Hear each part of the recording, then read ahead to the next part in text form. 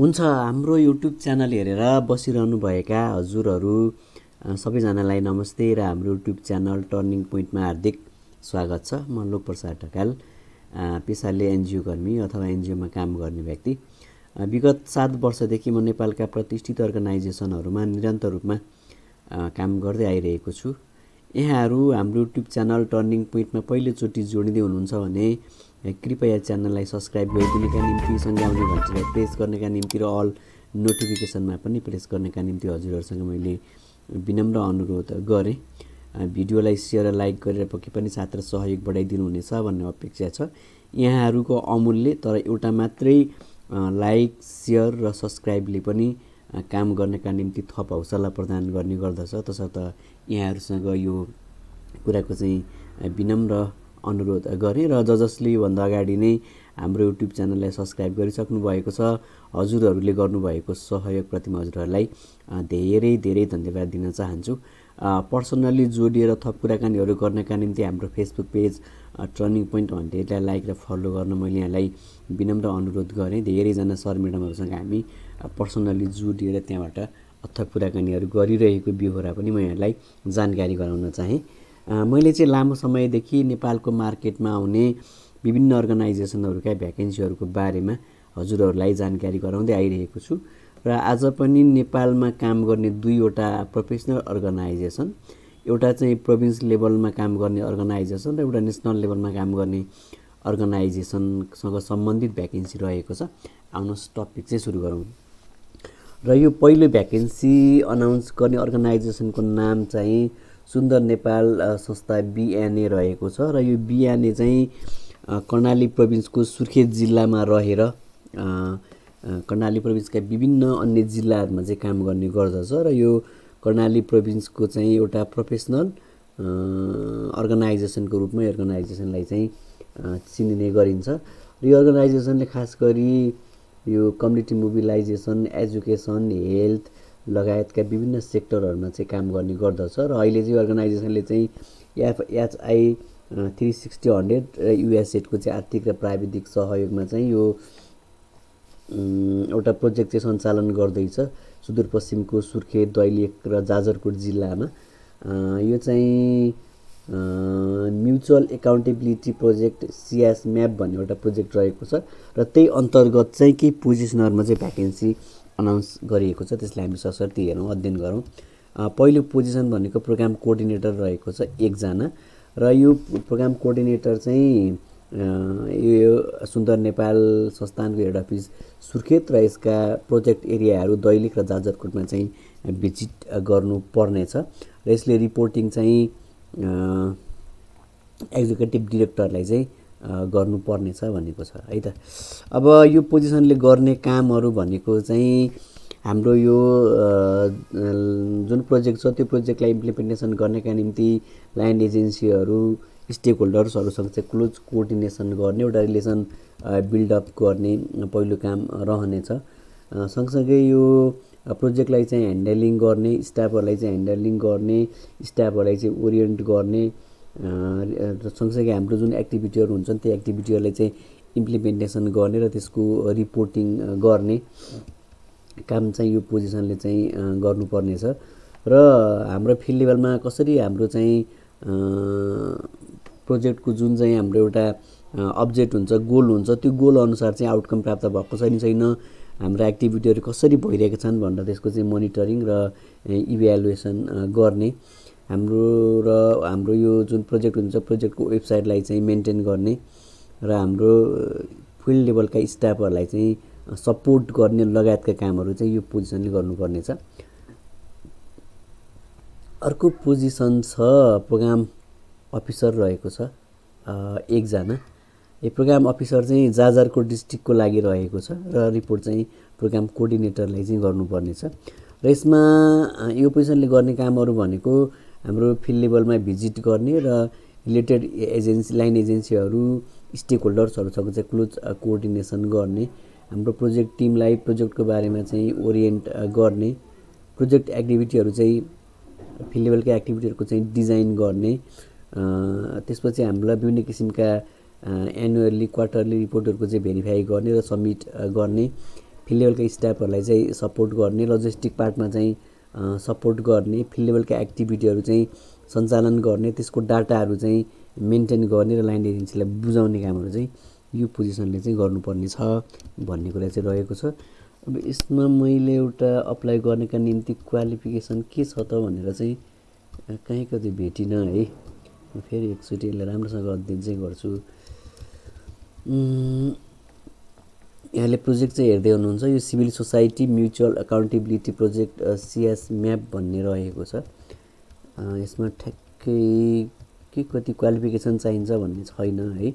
तर यो programme programme coordinator र हाम्रो प्रोग्राम अफिसर दुइटीको लागि मिनिमम यो ब्याचलर लेभलको चाहिँ क्वालिफिकेसन चाहिन्छ।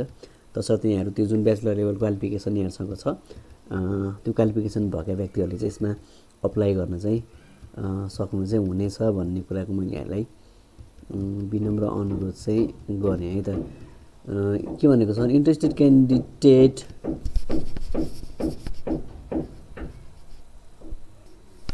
interest interested candidate who meet the above mention requirement qualification and experience can apply by sending the application letter CV and unnecessary document भनेको छ। यहाँले चाहिँ अप्लाई गर्ने गर्दाखेरि चाहिँ एउटा सिबी एप्लिकेसन लेटर र हाम्रा एकाडेमिक डकुमेन्टहरू अर्गनाइजेसनको इमेलमा चाहिँ टेन फेब्रुअरीभित्र चाहिँ पठाउनु पर्नेछ मैले यहाँलाई भने ठ्याक्कै क्वालिफिकेसन कति भन्दा लेखेको छैन। तसर्थ यहाँले ब्याचलर लेभल क्वालिफिकेसन भएका व्यक्तिहरूले यसमा चाहिँ अप्लाई गर्न चाहिँ सक्नुहुनेछ भनेर मैले यहाँलाई जानकारी गराएँ। र टेन फेब्रुअरीभित्र हामीले अप्लाई गरिसक्नु पर्नेछ र अप्लाई गर्ने हाम्रो इमेल ठेगाना रहेको छ BSCNCY at the rate SUNDARNEPL dot ORG मैले फेरि दोहोऱ्याएँ। BSCANCY at the rate SUNDARNEPL dot ओआरजीमा चाहिँ हामीले टेन फेब्रुअरीभित्र अप्लाई गरि चाहिँ सक्नुपर्ने चाहिँ छ। अर्को भ्याकेन्सी पनि रहेको छ र यो अर्को भ्याकेन्सी अनाउन्स गर्ने अर्गनाइजेसन चाहिँ नेसनल लेभलको एउटा एनजिओ हो। त्यो अर्गनाइजेसनको नाम चाहिँ inter generation feminist forum IGFF रहेको छ। र यो अर्गनाइजेसनले नेसनल लेभलमा रहेर नेपालका थुप्रै जिल्लाहरूमा चाहिँ काम गर्ने गर्दछ र यसले खास गरी चाहिँ यो महिलाहरूमाथि हुने विभिन्न किसिमका डिस्क्रिमिनेसनहरू विभिन्न किसिमका चाहिँ एब्युजहरू हुन्छन् त्योसँग सम्बन्धित रहेर विभिन्न किसिमका एक्टिभिटीहरू चाहिँ अर्गनाइजेसनले गर्ने गर्दछ र यो नेसनल लेभलमा चाहिँ भोलिन्टियरहरूलाई चाहिँ मोबिलाइज गर्ने यो महिलाहरूका अधिकारहरू महिलाहरूमाथि हुने विभेदहरू यो सन्दर्भमा चाहिँ काम गर्दाखेरि चाहिँ भोलिन्टियर मोबिलाइज गर्ने काम पनि अर्गनाइजेसनले गर्ने गर्दछ र यो अर्गनाइजेसनलाई चाहिँ एकजना प्रोजेक्ट अफिसर चाहिएको छ। यो चाहिँ कहाँ भन्दाखेरि चाहिँ छिनो पाटन ढोका ललितपुर यसको हेड अफिसको लागि चाहिँ प्रोजेक्ट अफिसर चाहिएको छ। र यो प्रोजेक्ट अफिसरले गर्ने कामहरू भनेको चाहिँ एडमिनिस्ट्रेटिभ हाम्रो जुन यो आइजिएफएफ हुन्छ जुन अर्गनाइजेसन त्यसको चाहिँ एडमिनिस्ट्रेटिभ पार्टलाई चाहिँ सपोर्ट गर्ने काम चाहिँ गर्नुपर्ने छ। लाइन एजेन्सीहरूसँग चाहिँ अर्गनाइजेसनको प्रोजेक्ट टिमसँग चाहिँ क्लोज कोअर्डिनेसन गर्ने काम चाहिँ गर्नुपर्ने छ। विभिन्न किसिमका फिल्ड लेभलमा हुने एक्टिभिटीहरू कन्डक्ट गर्ने त्यसको डकुमेन्टेसन गर्ने काम यो पोजिसनले चाहिँ गर्नुपर्नेछ र लाइन एजेन्सीहरूसँग चाहिँ नेटवर्किङ बिल्डअप गर्ने काम पनि यो अर्गनाइजेसन सरी यो पोजिसनले चाहिँ गर्नु चाहिँ पर्नेछ भन्ने कुरा चाहिँ रहेको छ। र फिल्ड लेभलमा चाहिँ यात्रा गर्न सक्ने र महिलाको सेक्टरमा चाहिँ काम गर्न इच्छुक हुने हुनुपर्नेछ भनेको छ। र gender analytical skill analysis skill भनेर के भनेको छ भने यो इन्टरपर्सनल स्किल र टिम मोबिलाइजेसन गर्ने स्किल भएको नेटवर्किङ कोअर्डिनेसन स्किल राम्रो भएको नेपाली र इङ्ग्लिसमा चाहिँ कम्युनिकेसन गर्न सक्ने र रिपोर्टिङ गर्न सक्ने स्किल भएको कम्प्युटरको बारेमा चाहिँ नलेज भएको र यो भोलिन्टियर प्रोसेसको बारेमा चाहिँ नलेज भएको र मिनिमम सुपरभिजन गर्न सक्ने र कुनै पनि विषयमा चाहिँ ब्याचलर डिग्री गरेको र सम्बन्धित फिल्डमा चाहिँ दुई वर्ष काम गरेको हुनुपर्नेछ भनेको छ। यो ब्याचलर चाहिँ जुनसुकै विषयमा गरे पनि हुन्छ भनेको छ है त? र यसमा अप्लाई गर्नेका निम्ति हामीले हाम्रो सिबी पठाउँछौँ र यहाँले चाहिँ यो एप्लिकेसन लेटर चाहिँ एक पेजमा चाहिँ लेख्नुपर्नेछ भनेको छ यहाँले यहाँ अलिकति बोल्ड गरेर हेर्न सक्नुहुनेछ। बोल्ड गरेको कुरालाई चाहिँ यहाँले पढ्न चाहिँ सक्नुहुनेछ। के भनेको छ भने यहाँले यति मात्रै बोल्ड गरेर देखाएँ त यो why do you think you are best person suited for this position भनेको छ। तपाईँ यो पोजिसनको लागि चाहिँ किन एकदम क्यापेबल स्विट क्यान्डिडेट हो भन्ने कुरा वान पेजमा त्यो हाम्रो एप्लिकेसन लेख्दाखेरि चाहिँ एक पेजमा लेख्नु होला भनेको छ र सिबी र एप्लिकेसन लेटर चाहिँ हाम्रो अर्गनाइजेसनको इमेलमा टेन फेब्रुअरीभित्र पठाइसक्नु पर्नेछ र हाम्रो इमेल पठाउने अर्गनाइजेसनको चाहिँ इमेल ठेगाना रहेको छ। यहाँले यतापट्टि हेर्नु होला यसलाई चाहिँ यहाँनिर रहेको छ। MNDL dot PRITIO sorry MNDL dot PRITI zero one at the rate Gmail dot com मैले इमेल फेरि दोहोऱ्याएँ MNDL dot PRITI zero one at the rate Gmail dot कममा चाहिँ यहाँले टेन फेब्रुअरीभित्र अर्को यो चाहिँ इमेल चाहिँ अथवा हाम्रो डकुमेन्टहरू चाहिँ पठाउन चाहिँ सक्नुहुनेछ। र यो हामीले छलफल गरेका सबै पोजिसनहरूको जब लिङ्क डिस्क्रिप्सन बक्समा हुन्छ। यहाँले त्यहाँबाट डिटेलमा अध्ययन गरेर अप्लाई गरेर आफ्नो स्किल आफ्नो क्वालिफिकेसन अनुसार चाहिँ अध्ययन गरेर अप्लाई गर्न सक्नुहुनेछ।